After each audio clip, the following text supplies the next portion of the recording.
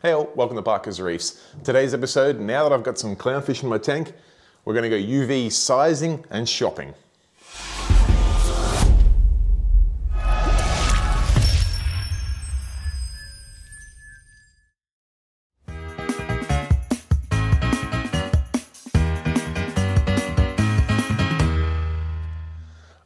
Thanks everyone for joining me on another episode of uh, what is becoming a, a, very extensive process on the build of my dream reef tank. Now, if you're following the channel, you may have noticed in one of the recent episodes, we introduced these two little gorgeous clownfish here from Coastal Clownfish up in New South Wales. And I mentioned in that video um, something a little bit controversial, and that is that I do not do fish quarantine with any of my uh, tanks. Now, there's a few reasons for that. Firstly, I tend to only buy fish that aren't going to rock the boat that much. I'm not the sort of person that adds a uh, powder blue, an Achilles, um, uh, white cheeks, some of these other fish that are very, very white spot prone. Secondly, I only buy fish that are very healthy. They're fat, they're eating, although these guys are taking a little, little bit less food than I'd like at the moment, but they are eating, so that's good. And lastly, I run UVs on my systems. Now, on my previous display tank, I ran a, um, ah, I forgot what the name of them are now. Damn.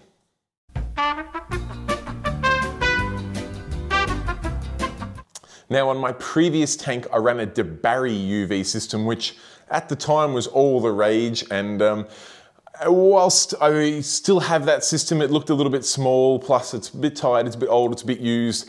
I wanted to see what the latest and greatest of UV systems was out there. And um, doesn't take a lot of looking around to come across a brand such as Pentair. I mean, you've got guys like uh, Reef Nerd, Marcus has got a brand new Pentair for his Dream Reef build. You got guys like David Mai on his Dream Reef build is running a big Pentair. You got guys like uh, uh, BRS, Ryan from BRS is running big Pentairs on his Dream Reef tank build.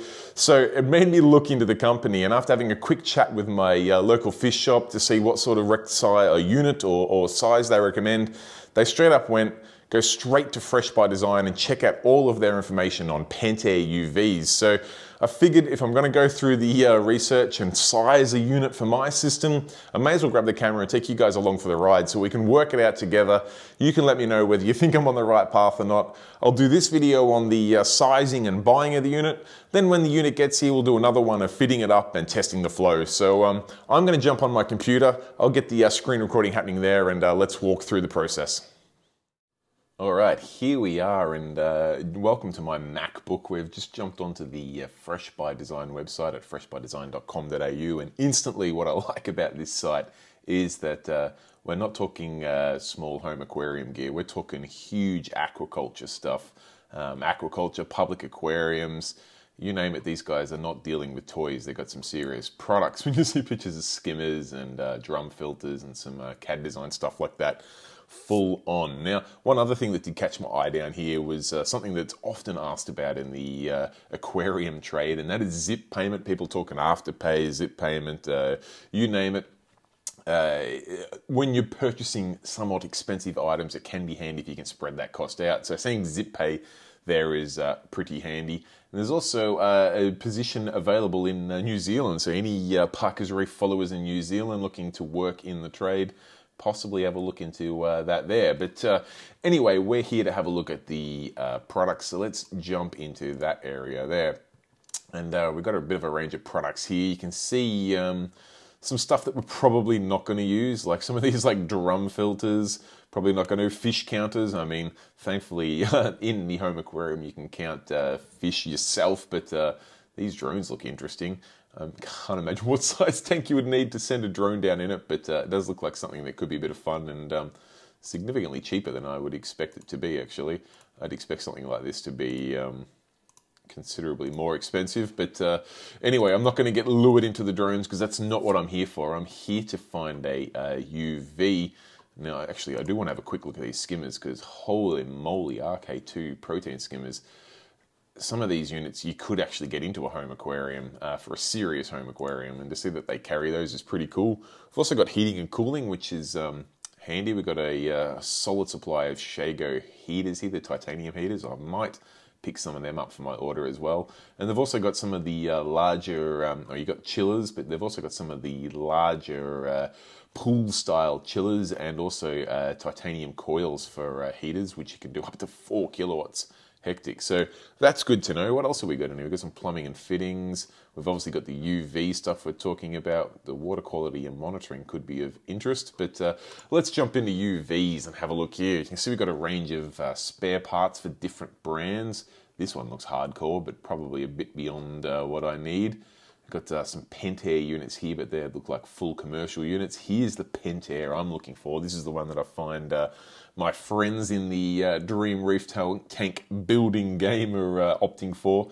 And you can see not only do we have the full UV uh, there, you can pick up a spare power supply, you can pick up spare lamps, you can pick up spare sleeves. So it's something that I'm always very mindful of, of when you're picking something up that's an expensive purchase, because let's face it, um, these UVs are expensive and they do have components that uh, need to be replaced. The ballast you probably, or the power supply, you're probably going to get a fair while out of, but uh, the bulbs you really, you need to be changing every 12 months um, at most frequent and 18 months at uh, maximum stretch. And to be honest, um, you can clean the quartz sleeves, but uh, let's just have a look and see what they cost. They range between 45 bucks and 180 bucks for a mid-size unit. We're talking 60 bucks. To be honest, uh, I don't know, I'd probably be looking to change the sleeve out every um, second bulb or so just to make life a little bit easier. But um, let's have a look at the bulb costs while we're here.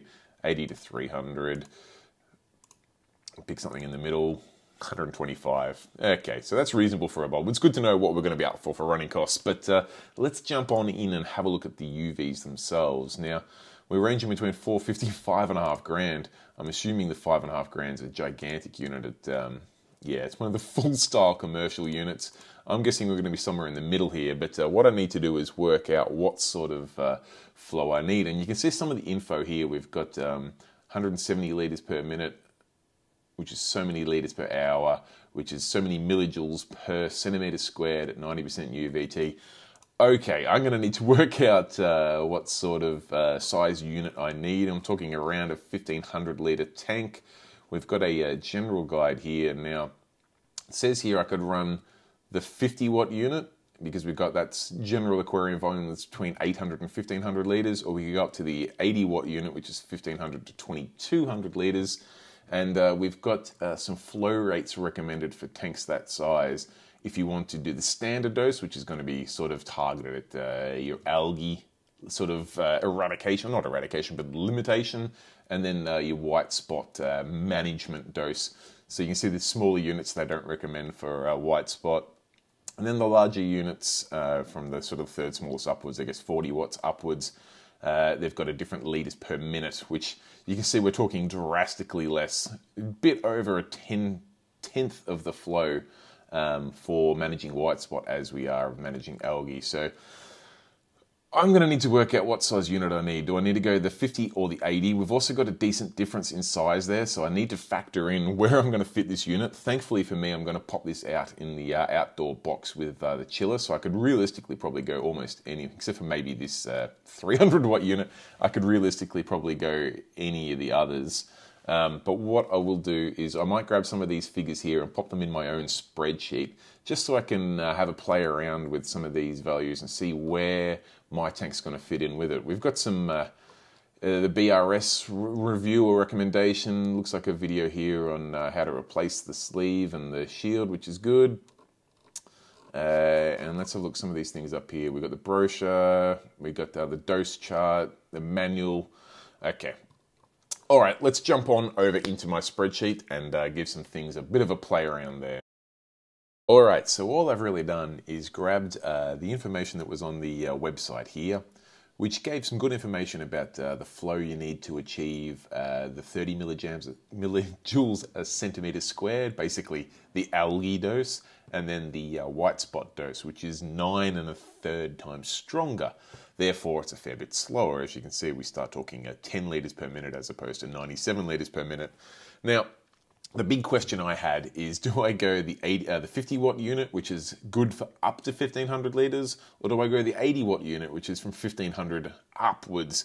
Now, I'm leaning towards the 80 watt unit because uh, I do believe that uh, bigger is better with UV and um, it just gives me a little bit more flexibility with flow rates. But uh, I wanted to put these, uh, these figures into a spreadsheet and work out exactly the one I needed. Now, the team at uh, Fresh by Design do recommend, particularly for a white spot application, that you want to turn your tank volume over every one to uh, every one to two hours. You want to put the entire volume of your water in your tank through the UV sterilizer. Now, obviously, still at the speed to achieve the white spot dose. There's no use just pumping the water through there really quickly and saying, good, it's all been sterilized because you need to keep this liters per minute flow rate to give the contact time and the strength of dose required to kill the UV uh, parasite. So, again, I wanted to work out whether the uh, smaller unit, which was good to 1500 litres, or the bigger unit from 1500 up was going to work. So, I grabbed those values and I plugged them into a spreadsheet. And this is what I come up with. So, we've got the uh, 18, 25, 40, 50, the 80 watt I'm looking at, the 120 watt I'm looking at. I should also highlight this one uh, the 150, the 240, the 300, and so on and so on. So the white spot flow, I've changed it from liters per minute to liters per hour just because that works best for me. All I did is multiply it by 60 so that I can see how many uh, liters per hour. It makes more sense to me. So I've just bumped those figures up by 60 to give the liters per hour. And then I've just, for curiosity's sake, I've put the uh, tank suitability value in here. And then I've worked out what, uh, how many hours it would take to turn over 1500 litres of water through those uh, reactor sizes based on the litres per minute recommendation. Now, you can see the three I've highlighted here, which are the three in the middle. This shows the number of hours it takes to turn over. So if I went the 300 watt unit, I'd be doing it basically every third of an hour and we'd start slowing things down. If I went a 40 watt unit, it would take three and a third hours, basically three hours, 20 minutes to turn my volume over, which is going to be too slow. If I go the 50 watt unit, it's going to take every two and a half hours, which interestingly, they, it says the 50 watt unit is good for 1500 litres. I would suggest that, that you're probably stretching things a little bit if you're using it for the white spot control. The team say to aim for every one to two times an hour to turn your volume through the reactor at that uh, flow rate. So at two and a half times, we're stretching things a little bit there. The 80 watt unit is one less than one and a 1.4, so we're 1.389 uh, hours to turn the volume over, which is quite good. And then if we bump up to the 120 watt unit, it's actually good. It'll turn the volume over every hour, which is uh, right on their maximum strength. Now, I'm not too concerned. Like I said, I'm not looking to put uh, super white spot prone fish in my tank. I just want to stop outbreaks from occurring. So rather than going the one time strength, if you were looking to keep a school of Achilles, a bunch of powder tangs, this is probably the unit I'd recommend for a 1500 litre tank. If like me, you're just looking to stop outbreaks from getting out of hand, this is the unit I'm going to go for. Now, interestingly, there's not a huge price difference between the 50, 80, and 120, and you can see there's a huge uh, difference in the amount of strength they give. So, I mean, obviously, this one's using a fair bit more power than this one, but uh, your initial outlay is not that different. For me, the 80 watt unit is right in the sweet spot. In fact, that on its recommended flow rate for white spot, it's going to process the entire tank volume every 1.389 hours, which gives me a little bit of flexibility if I just need to speed it up a little or slow it down a little bit for those recommended flow rates. I know that I'm still going to be addressing the white spot parasite in that flow. So I'm going to jump back on over to the site and uh, purchase that 80 watt unit. All right, so now that I know that the 80 watt unit is the one for me, let's go ahead and purchase this unit. I'm going to uh, pick that from the menu here. 80 watts, perfect. 1200 minus GST, excluding GST, I should say, not minus. You don't get a discount on GST. All right, that's been added to my cart. Let's head up here. Let's uh, hit the old checkout button. All right. Just going to blur my. Uh, address details out, but you can see across here we've got uh, some freight options here. On a pretty large package, we've got uh, a $39 freight option or an $85 freight option. I'm going to go the $39 option, and then I'm going to scroll down and pop my credit card details in. You can also see here we've got the zip payment option. If I tick that, what does it do? Okay, it'll happen when you go to the next uh, part of the site, but um, I'm going to go the uh, credit card option. I'm going to put my details in now and uh, get this unit on the way. I'm quite pleased with the $39 freight option. These guys are based in Sydney, I believe. Let's have a look. Yeah, O2's in New South Wales. So from New South Wales to Victoria, 39 bucks for a huge box like this. Happy days. All right, guys, there you have it. That was my thought process for the UV. Let me know what you think about it below. I've only ever had a DeBarry secondhand UV before. This is my first ever brand new UV and it's my first ever uh, what I'd consider a serious unit. I'm really uh, liking the specs on this thing. I like the uh, long life lamp on it. I like the uh, dedicated ballast which is uh, but has been designed to provide that long life. I really like the, uh, the, the viewing inspection thing so you can see the UV operational. You get that cool glow coming out the end of it. It's got uh, some drain ports and things just so you can flush that air out of the system. But we'll go all over, we'll go over all of those details when the unit arrives. I've placed the order now, so I anticipate it's probably going to be a couple days. As soon as I get that UV here, I'll uh, do an unboxing. We'll set it up. I'll get the flow happening on this tank. We'll measure the flow to make sure it's dialed in perfectly, and um, let, we'll see how it operates from there. I'm sure it's going to help keep the uh, white spot uh, nasties at bay. Like I said, I'm not expecting this tank to be completely eradicated of white spot. That's not the aim at all. I just want to stop outbreaks from happening, and I want to get it on there before the outbreak gets hold. So whilst my little uh, clownfish, which are not really venturing out of their corner all that much at the moment, very soon and probably shortly after Christmas, the rest of the fish list will start happening and there will be a couple of fish in there that could just be a little bit more white spot prone than the clownfish. So I want to get this UV on there well before Christmas. To make sure I iron out any bugs, get the flow dialed in and um, we'll go from there. That's probably all I got time for in this video. I was probably a bit of a strange one just watching me uh, work through numbers in my head and uh, purchase something online, but I've seen a lot of questions on the forums and uh, Facebook groups about people working out what size UV to go for. That was my thought process. Personally, I was going for white spot control. I don't want to say eradication control. So that I used the information provided by the uh, team at Fresh by Design and also the manufacturer to work out uh, the dose rate, their flow rate, and then matched that to my tank size to make sure I was right in that sweet spot of one to two times per hour. Whoops, another technical difficulty. Sorry guys, I can totally appreciate now why there is so much confusion around this topic. There's been a couple times now where the messages got garbled up from my brain to my mouth and I've said that you need to turn the entire volume over one to two times per hour, when in fact, you need to turn it over one times within one to two hours. So there's a fairly drastic difference there. Now, the best thing you can do is just take your time, write it down if you're old school, or pop it in a spreadsheet if you're a little bit more new school. Check out the manufacturer's recommended flow rates, whether you're looking at algae or white spot control. Personally, I'm looking to control white spot, so I grabbed the liters per minute, converted that into liters per hour, had a look at the different size units at that recommended flow rate to see which unit is going to process my entire tank volume within one to two hours. That's as simple as it needs to be. There's so much confusion around this topic. I don't know why.